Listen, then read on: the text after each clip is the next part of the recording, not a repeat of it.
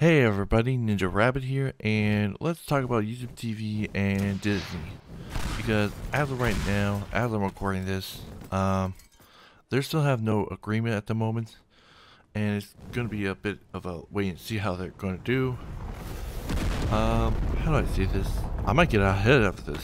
Some might say, oh, you're a Disney hater, or you're a YouTube below I'm not. I'm going to say this right now.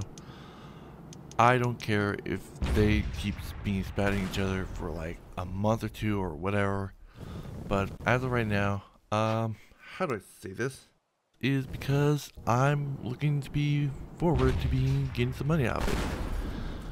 I mean, with YouTube currently in spat with Disney, um, they would be giving me 15 bucks for free, uh, not for free, but 15 bucks off my pay period which could be an advantage. It's not like it's gonna be resolved in like a day or two. anyway, um, how do I say this? But I'm gonna say this right now. If this comes long term, maybe I'll consider leaving. But if not, well, and they resolve in like a week or two, I might stick around for long term. As for right now, um, I'm gonna say this right now. If if Disney Plus if Disney doesn't really get back on YouTube, this is gonna be like money left on the table.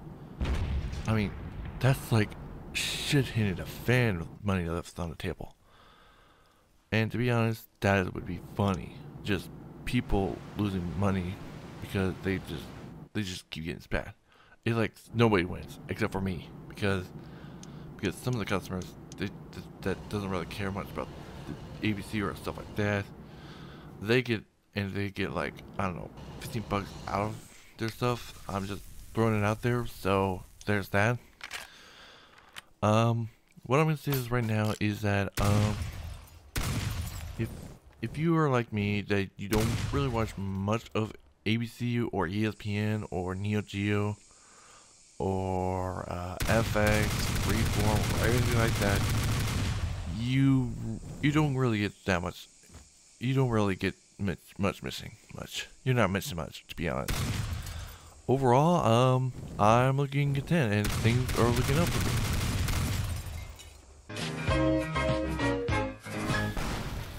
Okay, so while I was recording this, I received an email on my phone that said, Hey, uh, we just got a deal with Disney done.